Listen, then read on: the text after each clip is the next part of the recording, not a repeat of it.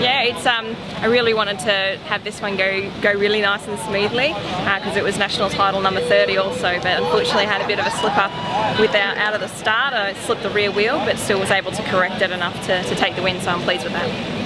Um, hugely. Uh, this is one of my favourite events. The National Championships means a lot to me. Um, you know, although I've got my spot, um, you know, qualified already for the World Championships, this is always important and in front of a home crowd as well. And I wanted to put a good, good performance out there to show people that this is what I've been working hard for.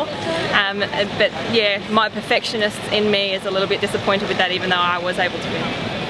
Uh, it'll be a tough little tussle, I mean, with Taylor Jennings and Stephanie Morton in the mix with a couple of the up-and-coming South Australian girls and Brie Hargrave and uh, Rikki Belder and Caitlin Ward, um, some of the girls stepping up from the junior ranks. It's really starting to swell out the competition in the senior women's field. So um, I think the Keirin's going to be the hardest uh, because of how many are on the track and how fast it can get. The sprint, I think I've still got a little bit of experience over some of the girls, but they really are stepping up and trying to knock me off that top spot. So I'm looking forward to the, the gameplay and the challenge. Yes, absolutely. I mean, winning's fun and I love it, so try and get as much of it as I can.